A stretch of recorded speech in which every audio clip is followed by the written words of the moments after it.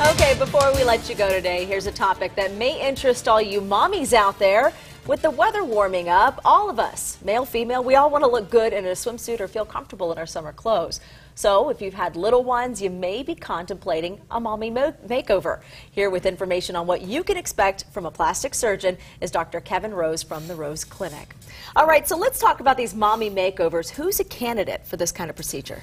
So I guess it depends how you're going to define mommy makeover because there's a lot of different procedures that are included. A typical mommy makeover means that a woman's been done, they're done having their children, and so we're talking about tummy tuck, plus minus breast surgery, maybe even some liposuction. So if we're talking tummy tuck, then for sure you should be done having kids. Otherwise, if you're talking maybe a little lipo, you know, some uh, breast surgery, then you don't necessarily have to be done having kids. Okay, and so you mentioned a couple of the different procedures you can do, but what are all the procedures that a mommy can do during a mommy makeover?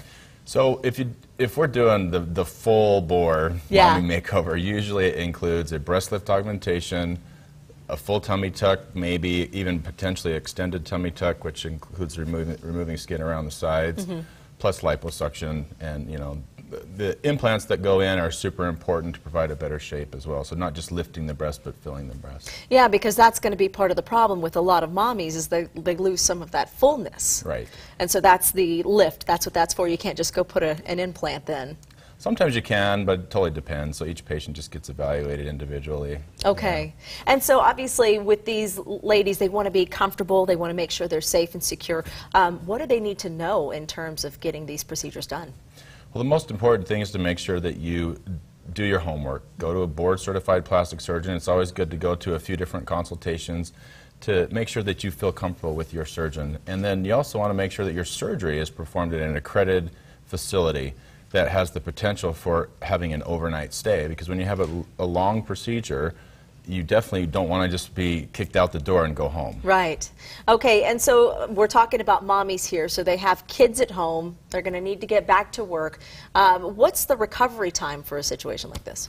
So if it's the full mommy makeover with everything included, then you really want to give yourself at least three weeks before you're going to feel like you can be up and around and doing things with your kids.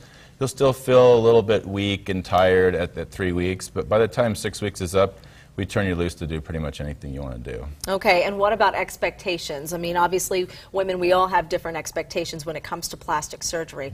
What can women expect? Well, you know, in general, you really can achieve some amazing results, and I've even had some of my patients say that they look better after than they did before.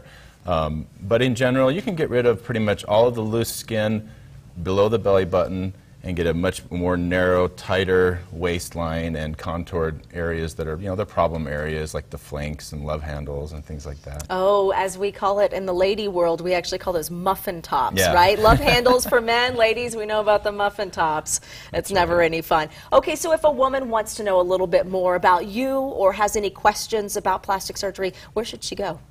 Well, you can go to my website, which is theroseclinic.com. I have a lot of uh, before and after pictures there. The consultations are free, so you know you can come in anytime, and and I see patients on Mondays and Thursdays. Excellent. All right, so there's the website right there, Dr. Kevin Rose. Thank you so much for that. I know a lot of women are probably going to be going, hmm.